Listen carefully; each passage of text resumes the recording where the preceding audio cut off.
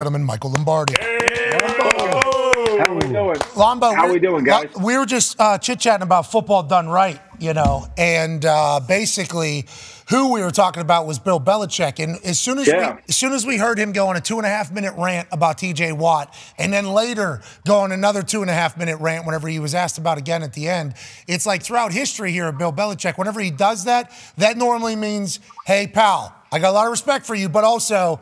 Yeah, your life's going to suck against us. Is that just kind Yeah. of stat, uh, status quo up there for Bill Belichick, you think, Lombo? Yeah, no question. I mean, if you're going to beat the Steelers and they got to beat somebody, you got to take TJ Watt out of the game. I think one thing you look for tonight, when TJ Watt's not in the game, they will try to throw the ball down the field. You know, when you played against us with Freeney, whenever Freeney wasn't in the game, that's when you took your shots because you knew Freeney was on the sideline, and that's when you went no huddle to keep him over there. So if you if you're going to play against a great rusher, you got to chip them. You got to do everything you can. You got to make them tired. All those things. But these guys are in great shape. You can't make them tired. I mean, Maxx Crosby looks like he never gets tired. So when they're not in the game, or if they're somewhere, you got to figure out a plan for them. I mean, look, every game is about for Belichick. It's about point of emphasis. Like, what do we have to do to win the game? What do we have to avoid to lose? Now they haven't done a very good job of that this year, but defensively they played pretty well. I mean, the last four weeks, the five weeks that they've given up, I think seventy six points.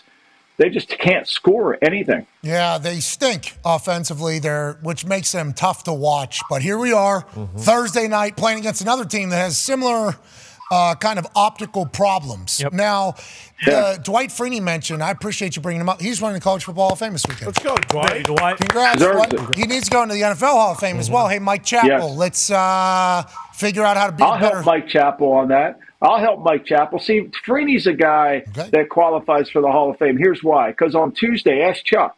All you talk about, all the offensive coaches talk about is how are we're going to block Freeney. How are we going to block Freeney? When you got a Tuesday player, right? A Tuesday player, meaning you're in a game plan, and you got a plan for that guy specifically.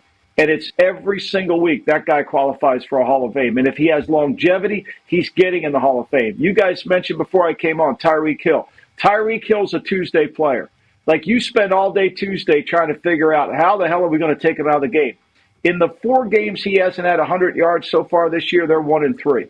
Right. The only game that he didn't have 100 yards in was the opener against the second game against New England, and they won that game. So you plan for Hill. Now, I agree with you. I'm not sure what Washington was doing in their game plan meetings. I don't know if they knew what jersey number he had. Maybe they thought he was on the Chiefs. I don't know. But that's what you do. And those guys go in the Hall of Fame. Yeah, I agree. And Freeney, I think on our show, told us like the chip was basically created by New England Yeah. To ruin my life. Like that's kind of how the whole thing. Is that accurate? Do you do do you? I, I, I, I, I'm pretty sure the chip. Well, you know, remember, great pass rushers create different blocking schemes, right? No, when Lawrence Taylor played, running backs blocked linebackers because that's what he was. It was back on back, back on backer, and so they had Bill Walsh develop the molly block, which was pull the guard out to block them, and then that tried to help slow down Lawrence Taylor, which nothing could do.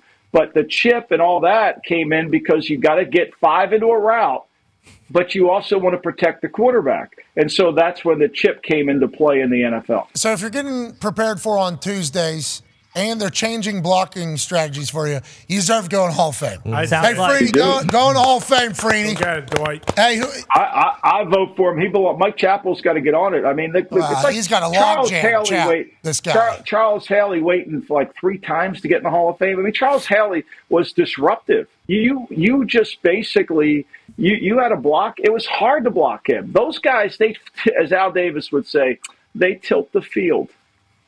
I like a good impersonation. Oh yeah. Yeah. You know, I absolutely love that. Connor has a question for you. Yeah, Lombo, biggest game of the weekend was the Niners and the Eagles. And in the first quarter, it looked like, oh, okay, Philly kind of knows what they're doing here. They're getting four man pressure. Maybe they do shut down the Niners. And then after that, it was just a 49ers shit show all over the Eagles. Should we be worried about them? And how big is it that they're getting Shaq Leonard in the building to help with that linebacking core, do you think? Well, they need somebody in the building. You know, the first nine games of the season, they gave up about 68 yards rushing defensively. The last three games, they've given up 162 yards rushing. So their defensive front, their linebackers haven't played well. But the one thing about great coaches, and Chuck can verify this, whenever you watch the tape of the game, you get you get a sense of what that coach thought of that team. And Kyle Shanahan, really, when you study that tape, he was very eager to throw the ball. He was not formationing to run, he was formationing to throw. He wanted to attack the Eagles. He knew he had an advantage that the Eagles couldn't tackle. The Eagles are one of the poorest tackling teams in the secondary in football. He went after them and he repeated plays and basically said to the Eagles, see if you could stop it. Go ahead. Try. You're not going to. And he was very aggressive with his passing game play calls. With his passing game play calls, because he felt like he had a huge advantage in that game, and he did. And for me, it also told me that he really trusts Purdy. And once he got control of the front, remember, the Eagles had 70 sacks last year, 60 came from the defensive line. They only have 32 sacks this year, 29 have come from the defensive line. So if they can't get there with four, they're going to get exploited. And that's what's happened. They don't tackle well, they can't really cover well enough. And if their front doesn't dominate the game, they take over. And I thought Kyle showed everybody that. Is that fixable, Lombo? Like, are we going to look back on this loss to the Niners three weeks from now and be like, hey, remember the Eagles got their asses beat yeah. against the Niners, and then that's when it changed? Or are we worried for them going forward? Well, you're worried about whenever they play a good front. Like Dallas, they got pressure on Dak. If you go back and watch that tape, Dallas, uh, Dak was under pressure. Steele struggled to block Reddick. And so it's always about the matchups. Can they block the four men pressure? That's what they need to do. Dallas in the last two games against Philadelphia has moved for over 400 yards. Now, McCarthy was very aggressive in his play calling in the first game against Philadelphia. He went for it on fourth down, which typically Mike's more conservative. But I think Mike really feels like his skill players are better than the Eagles' coverage players. Okay. The key to them winning, the key to them winning is going to be can they protect Dak? Dak was under a lot of pressure. Remember, he scrambled quite a bit in that game. And when they had the ball first and go first and five at the six, Steele broke down and Reddick got the sack. That really pushed them out. That's what cost them the game. So I think when you watch it this week, if they control the front, they'll put yards on, they'll put points on. The other thing is Dallas gives up yards too, right? So Philly's going to move the ball well. Last time they played down there, Gardner Minshew put like 30 point, 31 on them, I think. Feels like you like the Eagles here, huh? I think the line is interesting. It's three and a half. It's telling you something, right? There's a lot of money that came in early in the week on the Cowboys, and it seems like everybody that they're keeping it at three and a half. They're giving you the hook, which is tempting, right? You want to take it. And that's what worries you a little bit. To me, the books aren't stupid. When they put that out there, there's a reason. Dallas is really playing at home. If their front can get there, remember, the Eagles haven't been able to run the ball as effectively as they did last year. I mean, they averaged 4.6 yards a carry last year. They're down to 4.1 this year. They, and the other thing, what happens to them is, Pat, they don't get they don't get in front of the game. They don't play from in front like they did last year. Last year they scored 206 points in the second quarter. This year they're deficit of 50 points in the second quarter. Mm. So it sounds like you are a little worried about the Eagles. Let's yeah. talk about another team, maybe. Go ahead, Ty. Yeah. Look, they, they, have a will of a champion, right? I mean, they are a tough. The quarterback's good. I don't, uh, you know, mm-hmm. like they're not going to bench the quarterback. The mm-hmm. quarterback's really good. Mm-hmm. They they have this fight to them, but the problem is a space game becomes problem. Uh, you know, I mean, they're going to have trouble covering. They have trouble covering, and I think Cowboys really have a good idea on how to attack them. And they're going to have to beat the Niners at some point if they want to go to where they want to go to. The NFC is top heavy. Now let's go to the other side. Go ahead, Ty. Yeah, Lombo, the other marquee game on Sunday, uh, Chiefs Packers. Are we in the territory now where we should have some cause for concern with the Chiefs? Like it seems like in years past, it's kind of always hey, it doesn't matter. They have Patrick Mahomes. When push comes to shove, they're going to put themselves in a position to win the game, and most of the time they do. But Sunday night, you know, their defense has been so good all year, and the Packers kind of just had their way with them and made them look pretty pedestrian, you know, especially early on those first two drives. Can can they turn things around with uh, kind of how wide open the AFC is right now? And then on the flip side, the Packers, I mean, obviously the NFC is very top heavy, but with the rest of the NFC playoff picture kind of in flux, like, do you think they're in a position with how they've played over the last few weeks that they could, you know, really kind of make a little run here as we uh, approach the playoffs? You know, I, I think the Packers, their offensive line, their pass protection was so good. I think that's what got them – ahead of the Chiefs, and Love's really improved his accuracy. And these skill players, Reed, Doubs, Watson have been really good. They're coming on. Musgrave was a good player until they had to put him on IR, the tight end. So I, I think this offense is starting to click and get their identity, and I think they're going to be a problem. I mean, they're playing Tommy DeVito this week back in New York on Monday night. They should win that game. I know Saquon Barkley can run the ball effectively, but De- DeVito has been sacked 20% of the times he's taken sacks this year. 20%. That's a lot. So they're going to be able to get ahead of the down and distance if they play them. For me, when I watch the Chiefs, they're 0 4 this year when their opponent scores more than 20 points, mm. straight up and against the spread. Oh. So, mm. you know, what you worry about them is they're not the same Chief offense. We keep thinking it's going to turn around, but it's not. And a lot of it is because so much is placed on Kelce. Whether he's 100% or not, I don't know. But he's down a full yard in yards per catch this year than he was last year right? His target percentage is up, meaning he's getting more looks, mm. but he's not getting as many big plays as he once did. And a lot of that is reflective A, he's 34 years old, and B, the other players around him haven't been able to help him. I think this is the one year we see the really the effect on Kelce by not having Hill. Yeah, and the AFC, a lot of parity too. Oh, yeah. Mm-hmm. It is a bananas conference. Chuck, go ahead, pal. Yeah, it seems like there's a bunch of six and six teams, seven and five, eight and threes. You know, we know Baltimore is going to get back on, on the field this week. New after, England's after still in it, Chuck. New England's still wow. Mathematically, I think they're still. no, I don't know. Ask Con, ask Con Man if We're he not. feels good about that. But Lombo, who's your? They don't who's want your, to be in it. They got to get a quarterback. They don't want to be. In Yeah, it. yeah, so yeah. that's a good There thing. you go. That's Amen. how Connor feels too. Yeah. Thank you, Lombo. more cash on Pitt tonight? Then, hey, so Lombo, who's your dark horse? You know, we just talked about you know Buffalo at six and six going into uh, Kansas City on, on Sunday. Do you have a dark horse? Somebody that somebody should be really scared about making a making a run and making the playoffs? I, I mean, I think Shane Steichen's done a great job. In Hell yeah! seven and five. I mean, they blocked yeah! two punts last week. They blocked two punts. Their return game really helped them. Their defense has really kind of let them down. They haven't been able to stop the run. I think their their schedule is very favorable for them. When you look at it, Cleveland has a favorable schedule, but Cleveland's kind of like a two-faced team. They play really good defense at home. They don't play well on the road. Twenty-nine. To me, points I a don't game. think you can rule out. What? I don't think you can rule out Buffalo. They give I- I up don't twenty think nine you- points a Who, game, who, right who? on the road. Cleveland, right? Cleveland gives up 30 Yeah. a game on the road. Yeah. Oh, they're horrible on the road. They're horrible on the road. I mean, the mm. Rams went up and down the field on them, and, and I was on Cleveland in the game, and I mm. thought everybody says, "Well, how could you be on Joe Flacco? That's the dumbest pick of all." Joe Flacco probably played the best quarterback Yeah. that the Browns have seen in two years. Bingo. I mean, seriously. I mean, he was better than was Watson spinning. has been. I mean, he was throwing it good. The problem was the Browns' defense couldn't get off the field. They couldn't put any pressure on Stafford at all last week, and he threw darts. But my, I mean, I don't think you can rule out Buffalo. Look, Buffalo's healthy.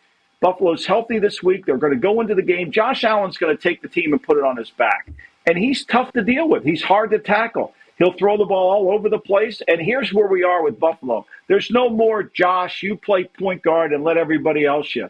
It's now, Josh, you're the scoring point guard. You're going to have to help everybody. And I think they're a dangerous team when they get in that mode. Okay. Conman has a question for you, Lombo. Yeah, Lombo, I just, you know, quick question about tonight. Are you mentally prepared for the fact that Al Michaels probably won't have a tie on? And is this as angry as you've Yeah. ever been at Bill Belichick for having a bad team?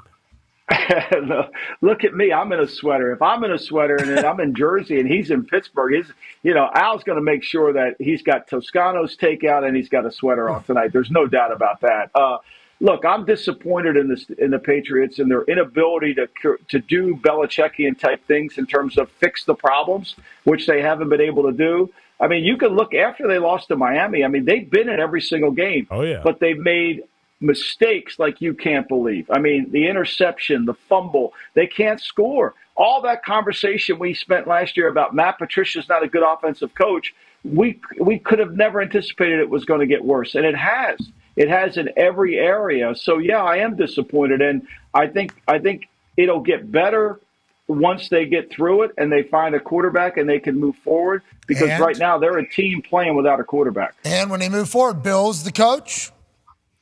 Well, you're going to see him this week. You can ask him. He'll be right there on the set with you. You can, just can talk about Army, Navy, the history of the game, and I'm sure he'll give you a very, very revealing answer. But we know there's people in America that already have the answer. We've already heard that. We've heard it on your show before. Oh. So I'm sure people know. Hold on. Hold on. You said a lot of things there. Um, I did say a lot You of said things a lot of things. saying there. anything. Yeah, bingo. Without saying anything. That's classic Bill Belichick. Is he gonna? He's uh, he's gonna be he's gonna be at game day. He's gonna be at the Army Navy this weekend.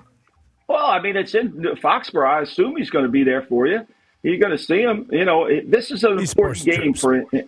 It's an important game for you know his family. I mean, Bill played one of the things about the Patriot Way, and I know it hasn't been successful this year, but I, the Patriot Way started at the Naval Academy, and I wrote about this in my book. Uh, much like Bill Gates would not have become Bill Gates had he not grown up on the campus of the University of Washington and had an ability to get to computer labs. Wow. Belichick might not have been who he is if he didn't play catch every day with Roger Staubach as a young kid, and his dad was a coach at the Naval Academy. That part of it is part of the Patriot way. The What's that book? What's that The- book? it- Uh, the called Wickersham book? Right. No, no, the Yeah. the book about all the people like um, you know. Oh, it, that's called Outliers. I think Outliers. it's Outliers. Oh, Malcolm Yeah, I think it's Gladwell. called Outliers. Yeah, that was in the Gladwell. Aaron Rodgers book club. Yeah. About how, Yeah. like, hey, some people who will go on to be the greatest of all time at something, well, they might have had a little bit of assistance, like being within the proximity of the only computer uh, that, it, that was in uh, United States of America. Bill Gates was within walking distance of, I, I think that was in that story and everything like that. Exactly The right, thought yep. of Bill go, being and growing up in the Navy. Not only did he learn discipline, accountability, mm-hmm. everything that the U.S. military and the Naval Academy preaches and teaches, but also football, just mm-hmm. the basics of like that. That's fundamental football through and through. What a weapon, dude! I can't wait to see him. This will be a first time talking to him as opposed to him talking to Vinatieri. Yep. Love you. You're the greatest. and then, hey, coach, good to see you. And then he's just on his way out. you know? You mentioned Vinatieri. I, I think it's interesting on the day where Robbie Gould retired. I think it's an interesting story. If you were when you see Bill, you'll ask him who, what player that he had a cut that was probably what he felt like was his biggest mistake. He'll tell you Robbie Gould. And because he had Vinatieri, he couldn't keep Gould. Vinatieri was on the team at the time, and you could ask Adam, but they knew Gould was a good kicker. They just had Vinatieri, unfortunately, and they couldn't keep Gould. There wasn't the rules where you could put a guy on practice squad at the time. So it's kind of interesting how Gould is going to retire now. And you mentioned Vinatieri. That's one of the things that still that still bothers him to this day that he didn't be able to enjoy the fruits of Gould, but he had Vinatieri. All right, so a couple things there. You said a lot without, you know, there. I know I, I have an Italian horn necklace on. Okay. That's right. Okay, uh, 0.01% Italian. Our buddy Frankie also under the weather. We're pulling for you. Yep. We're pulling for you, Meraldo. You're more Italian than me. Have I been pronouncing Vinatieri's name wrong this entire time? Is, is, I, I always say Vinatieri. I'm Vinatieri. I give it a little bit of more. Oh, sp- okay. pizzazz. Oh, But a little bit more, Yeah. little One bit more thing- one thing you do pizzazz. How about six do- years in that you do not team wanna do- meeting? one thing I've you do been not wanna screwing that up is go for by six how years. I pronounce names. You don't Yeah. want to go by. Well, it's Robbie Gold, go dude. by- You called him Gold. I mean, Jan Levinson. Jan Levinson, yeah. But I do, uh, you know, Robbie coming out of Penn State, he didn't have like the best year his senior year, I don't think. If my memory serves me accurate, because Robbie has a little brother, same class as me, Chris, I think his name is. He's special teams coach now in the NFL, and he ended up going to Virginia, I think, to kick. So I met them all at the Penn State kicking camp. Uh, the one that I won, I won the camp, obviously. And then McQueary told me I wasn't Penn State material. Look that up, oh. Yeah. who that is. Thank God I'm not, but nonetheless, I was supposed to go to Penn State, and I got to meet Rob. Robbie was very kind to me, like very, very nice to me. I didn't know much about kicking. I was a soccer player that just was bombing ball, like actually murdering footballs. Robbie was very nice to me. His family was very nice to me, but he didn't have like the best senior year. So whenever he went up to New England, the story goes that him and Vinatieri uh, really worked together. Like they actually got along very well. And like Vinny, like I don't want to say gave him a lot of game, but I think Robbie thanks Vinny for a lot of stuff from that training camp and that whole process. And then Robbie obviously goes on to have this historic Hall of Fame career pretty much. And uh, yeah, that he retired. Congrats on a hell of a run, Robbie. Boy, Robbo. Thank you for being nice to me, Robbie, too, whenever I was just a young buck. Gold. Gold, Robbie Gould, not a bad player. Uh, but I can't wait to meet Bill. That's going to be awesome. Yeah, let's go. That, that's amazing if I get to do that. Nice handshake. I'm just maybe pop the top Yeah. off. Yeah. Should. Let's do it. Remember? Remember you? Yeah. You did it. I seen you. I seen you in that whole camera. Uh, Tone has a question for you, Lombo. Yeah, Lombo, it's a it's a shame tonight, really, because for 20 years this would have been the best matchup of the of the week, easily, probably of the season, um, and that's probably because seven and 12 were on the field And and now they're not. Um, is it? Can we safely say that um, the Patriots and Steelers have missed on their first round quarterbacks? And how far does that set you back? What do you think is going to happen tonight, Well, too? Uh, I, I don't know. You know, look, I, I don't think the Steelers think they missed on Pickett. I think they're still involved in it. I think they're going to keep going down this road. I, I think a lot of America thinks they have. I'm not sure the Steelers internally have. I think New England has come to the realization mm-hmm. after three seasons. Rarely do you ever see a quarterback play as well as a, as he did as a rookie and then not play well now. I mean that that trajectory never happens in in football. Yet it has. But there were moments as a rookie that Mac made a lot of mistakes in Indianapolis, as an example. You know, hmm. two bad interceptions in the middle eight in that game, ultimately coming off a seven game win streak, cost them. And those mistakes, although as a rookie looked like you could overcome them, have creeped up in his third season. So they haven't gone away. And I think it's fairly obvious that they can't get the ball down the field. You could say they don't have skilled players, all that, but they, they, you have to conclude beyond a reasonable doubt that they need a quarterback. I'm not sure Pittsburgh's at that same point, depending on where they are. To me, I, I thought Pittsburgh, if they had Kirk Cousins on this team, if they had a Kirk Cousins on this team where Pickett could still develop if he had that ability, then, you know, you got a chance to move forward really quickly. Love Ben. Love him. Oh yeah, hard not to. Way to go, Ben. Love the you. best and football. Love football and with Ben Roethlisberger. But his last couple of years, I mean, we were not really playing football. You know, we were throwing the ball as soon, boom, bang, pow, right there. work. Well, the- if you had, remember the year the Duck, love Duck, Duck, Quack, quack, quack, quack, quack, quack, love Duck. Sure. I love the Duckster. Yeah, we, we went to we traveled to Pittsburgh to watch the Duck show Yeah. live. He landed on his feet. We, Yeah. Yes, he certainly has. And we are incredibly proud of Duck. But if you think about Kirk Cousins or one of those types of quarterbacks, and whenever we say those types of quarterbacks, we don't mean this as a shot. We're just talking about somebody that just like actually is in here just to be a point guard, manage the game. Let's just move. Like we don't need to turn the ball over. Let's just kind of move. With those Steelers defenses, with how great they have been, I feel like that's why Pittsburgh fans are po- finally at the point where they're like, we're sick of this. That's why Matt Canada, first time getting fired since what, in the middle of the season, 19 what was the first, last time they fired uh, It coach or coordinator? forty something. It was the it was the owner who fired himself as the coach. Smart guy. It's crazy. These are two store You know what's amazing about TJ Watt, though, with- when you say that, is the fact that Watt's able to get this many sacks and this much pressure for a team that never plays him in front. Right? I mean, that's mm. really remarkable when you think about it, because ultimately what you want to do is is what Kyle's trying to do in San Francisco. Kyle's in a mad dash to get the lead. He wants to throw it fast, get ahead, and then let those guys that he has, the strength of his team, excel. It's what Philly did last year. It's it's really the West Coast offense. That's what the West Coast offense is. It's not smash seven curl. It's not twenty bingo cross. It's we're going to throw the ball to get the lead, and we're going to have our defensive line rush the passer to create turnovers. That's the essence of what the man was trying to accomplish in San Francisco, and he did. And I think what Pittsburgh's not been able to do is play from in front. And Watt still is tremendous.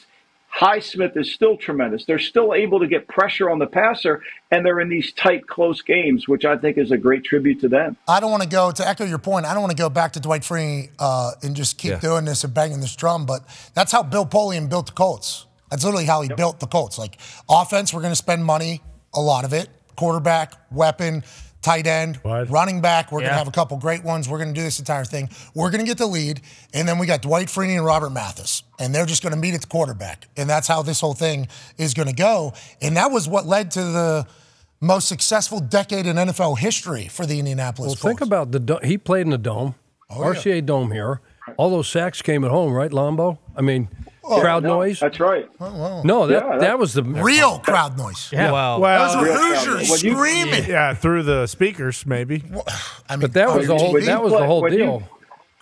When you have a dome team that that can play, can rush the passer, and one of the things that I've always thought, if you were building a dome team, if you were a size speed dome team, it really enhanced yourself. I mean, think of the great Viking teams when they moved from the Metro Metro Park and the Metropolitan Stadium into the John Metro Randall. Dome, right? Yeah. They they had great Randall, uh, you know, Chris Doleman. I mean, they could really get after it, and that snap count. Now, back then, we were not as good with the silent count as we are today. So it has helped a little bit, but that snap count is the advantage that the offense has. And when you neutralize that advantage, when you can do that by the crowd noise, you should not be able to run the ball on any good dome team because the defense should gain the line of scrimmage immediately. Hey, did you um did you hear Tone Diggs yesterday on our program? I know you were hosting your show, so you might have missed it. Um, he actually kind of said that maybe Acrisure wouldn't be sold out tonight. That is Yeah, he what he did. said. Do you remember that? Oh, yeah. He like said that. I Uh, can't believe that. Confidently. Yeah, I- oh, we were mind blown Yes. by it, Lombo. But that's that's what he was saying. That's where we're at right now with the Pittsburgh Steelers organization. Now Uh, it's they're filled up. in the run. They're in the hunt. They're in the playoff. They can still get there. Is But I'm- what I mean, it's- I know it doesn't look pretty, but you know we don't grade these things on the beauty contest. I mean, they're they Lombo. they're still a hard team to play. I mean, they're they're good. For, the front's good. Look, last week was disappointing. I was on them. I thought they would beat the Steelers. I agree with what Bill yeah. Cowher said. Fourth. Fourth and one, fourth and inches from the goal line, and the Pittsburgh Steelers are in shotgun. I mean, come on. It's genius. Uh, Lombo, you know, I mean, you were with the Patriots for a long time, Steelers fans for a long time. It's not about making the playoffs and losing in the first round of the playoffs. Like that's that's not what we're here for, and you know that. Yeah. Yeah, well, I know that, and also I know the last time I worked at Cle- in Cleveland in '89 was the last time the Browns finished ahead of them. Mm-hmm. That's how good they are in terms of being able to maintain. Oh, their maybe they're a little spoiled, is what Lombo just Oh. said. That's what Lom- Lombo just said. Maybe. It sounded like. Maybe a little spoiled. up. That's like the year we went uh, two and fourteen. Whenever we found out that Peyton's neck was going to be broken, uh, literally in training camp, and he wasn't going to be able to play. There was Colts. They showed up, showing up with bags over their head. That's And right. it was like, tell you, you're real rich, Yeah. real rich. One year, things don't go And then right. they get and then they get Andrew Luck. I mean, think about that. yeah, Think about that. yeah. it mean, New England- I They love didn't football have to fans. suffer through it. I love football fans. They're the best. And Acrisure will be packed out tonight. Oh, yeah. Oh, yeah. Absolutely. Pittsburgh will show up for football. Uh, that just prime time NFL football. They will show up. Tone, what's the head? Tony. Tone's talking to people with season tickets, I think. is. That is, Are they is good? that- I've heard some things. Oh, no. If there's yellows, if that looks like a Pitt, University of Pittsburgh football game. The New England Patriots, who won six Super Bowls in the last twenty years, They went to 11. they had twenty five thousand people at the stadium last weekend. yeah, it wasn't prime 25,000. time. 20 It wasn't prime time. right. 25,000 is generous. This is prime time. This is like a city showcase It is. almost. That's what that's what happens. There was nobody at that 20 Patriot. 2,500, I think, No, is what I'm just meant. worried they're going to treat this like the old school Thursday night football on on NFL when uh, it was you know like color rush Jags Titans. Okay, well, the issue here is, and now that we're thinking and talking about it, it's like Patriots fans aren't traveling to Pittsburgh to watch this game. No. No. So, like, normally the assist you could potentially get from the other team, like the Patriots fans aren't even showing up at home. No. And they've paid thousands and thousands of dollars for season tickets. Right. Oh, no. Yeah, they're, they're not showing up. These are fan bases letting their teams know this ain't how we play football around here. No. Yeah. And it, it needs to be heard. It needs to be heard loud and clear. But Tony just added another great wrinkle to this game. Let's put the color rush uniforms on the line, too. Why do, when we were the Bumblebee tonight? Are the Yeah. Steelers wearing the Bumblebee? Listen, we're going to put a Lombardi on the line today. What? The losing coach uh, immediately becomes the defense coordinator for the other team. What? Oh. Or fired. Okay, forward. that's not and then, bad. Yeah, we'll do color rush and yeah. and, and the owners have to take a snap at running back Yes. and a snap at middle linebacker. And also Renegade shipping up to Pittsburgh. Boom. Yep. Okay. Uh, Ty has a question for you, Lombo, as we Yeah. continue to draw up reasonings on why and how this game tonight could be the Mega Bowl. Absolutely. In week 14. Lombo, uh, we were talking about this a little bit yesterday, and I know on the GM Shuffle you got a little hot about it. But at what point do you think people are going to start giving Brock Purdy a little bit of credit for actually being good at football? It seems like we kind of just create deficiencies for him, even though everyone watches him play on Sunday and he just continues to throw four touchdowns and for over 300 yards. We understand he was Mr. Irrelevant, but he's the odds on favorite to win MVP. But even if he were to win the MVP this year and they win the Super Bowl, people are still going to make excuses and talk about his weapons and how good they are. Like, at what point do you think people will actually start to appreciate Brock Purdy uh, for how good he is as a quarterback? I think it's hard to make people understand the game of football. They see it their way and they just won't change, you know? And so it's hard to get them to see the obvious. And this is really obvious. I mean, look, I, I'm embarrassed to say I was in the scouting profession and this kid went in the seventh round. How did you recognize it as somebody better? But one of the things you have to do in scouting is admit you made a mistake. And so this kid in that tape last week, Kyle Shanahan has complete faith in him. And I said on my podcast last week when he was 11 to 1, to be the uh, MVP that, you know, there are a lot of Joe Montana like qualities in the player. Now, he's not Joe. I'm not suggesting that. But his rhythm, his accuracy, his athleticism is sneaky good. And he's got great timing and he throws the ball. And all he does is play point guard. He just distributes the football to the people in the right spot. And they have confidence in him. And he's likable. The team loves him. They love him. You know, one of the things about Pickett, the team loves Pickett right? If Pickett wasn't the kind of kid he was, I think the Steelers would be easier to move away from him. But he's they love him as a competitor and as a person. Takes but the boys I, I to concerts. Kid, yep. Mm-hmm. Yeah, I mean this kid is so good. Like I don't know why. You know, the two players I don't understand why they're not in the MVP conversation. It was Purdy and Tyreek Hill. Like I don't understand how Tyreek Hill. Like people say, well, you got to vote for McCaffrey. No, no, no, wait a minute. The best offensive player in the game, the guy who tilts the field more than anybody, is Tyreek Hill. Like you're holding on to anything you have. When he goes to the sideline and you're the deep, ask Chuck. It's a different game calling when he Yeah, ain't Chuck on the just, field. Chuck- a- the, re- the reason why I just looked that way is Chuck actually went. yeah. that is a. I mean, there. I mean, look, I love McCaffrey. McCaffrey's great. McCaffrey's tremendous. But he's like he's an acceler. Uh, he's like a luxury part to a beautiful car. I mean, he's tremendous, and he fits perfectly in what they do. But this Hill guy now, I mean, he tilts the field like you're scared to death. You're breathing. You can't call cover one. Your safety can't make a mistake. Oh. You can't do anything. And then when you have an angle on him, forget about it. What he has is rare. He's got rare speed, rare, rare speed, and rare quickness. Rare quickness and rare speed, that rarely goes together.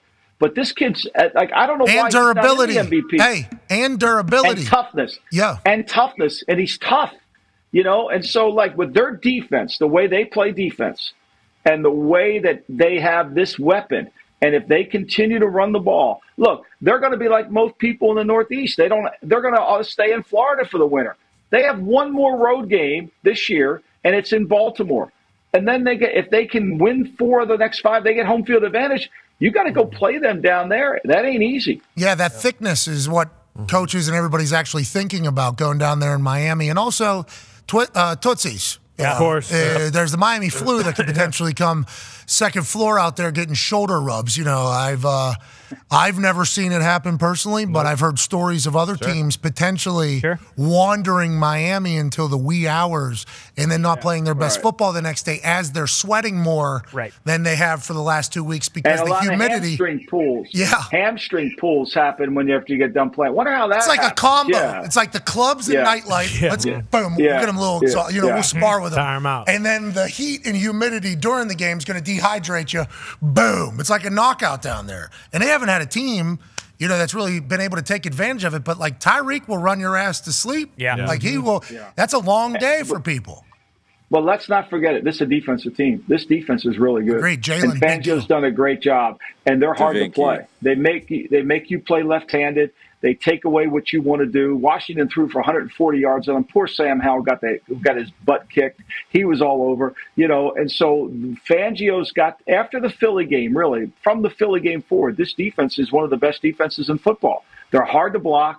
You can't separate from them, and you're, you're not going to be able to score a lot of points on them. And they can score points if they don't turn it over. They can score points. They're a tough out. Hey, Fangio's and one of the coming things together. they, one of the things you thought you could get an advantage of is if you could get them to come north.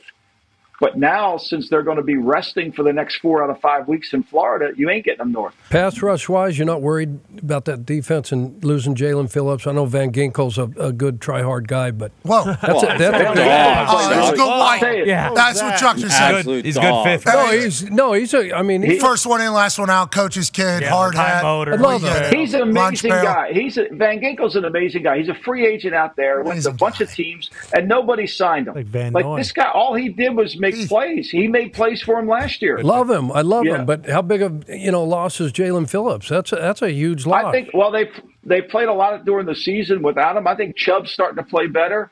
You know, look, they're you, you know they're going to miss him. Phillips a really good player. I don't deny that, but I think their scheme is good, and it's hard to run the ball on these guys. And so you become one dimensional against Vic Fangio's defense. It's a hard thing to go, and it's hard to put consistent drives week in and week out against them. And if they get the lead, like they're capable Forget of doing, about it. Forget about forget it. about it. Is right. Hey, who are your picks for this weekend? What should we be looking at, you think, Lombo? How'd you do last You know, weekend, too? I it was horrible. I was 0 2 last Oh, week. no, I was just have asked. bad. No, bad well, host. because uh, you know, I everybody said you can't take Flacco. I like Buffalo this week. I think Buffalo. I, I, I think Buffalo. I'm going to go on the Josh Allen trade, and I like. I'll take the Broncos and the points in Los Angeles. I think both those are good plays. Buffalo and the Broncos. The bees. You're the best.